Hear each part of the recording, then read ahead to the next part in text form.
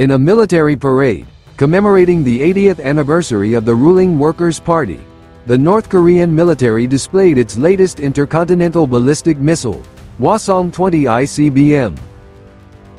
KCNA news agency reported on October 11, 2025, that Hwasong-20 is a next-generation ICBM with a larger diameter and more powerful thrust than previous designs.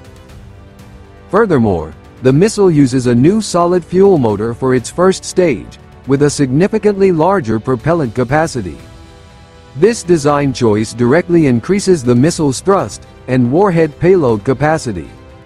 Solid propellants reduce launch preparation time compared to liquid-fueled designs, enabling faster reaction times and greater survivability in crisis situations.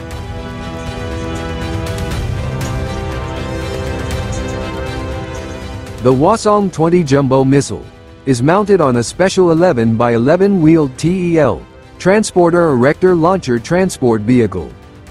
This highly mobile vehicle can complicate enemy targeting and make missile forces more difficult to defeat. An official statement during the parade indicated that Pyongyang is developing multiple independently targetable reentry vehicles, or a single, higher-yielding warhead. Hwasong-20 is an improvement and complement to the previous Hwasong-19.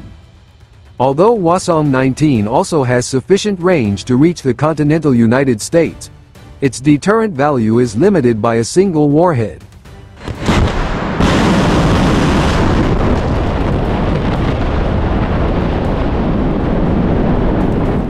Now, the presence of Hwasong-20 is a response to the development of Hwasong-19 by deploying multiple warheads at once or a single, more powerful warhead.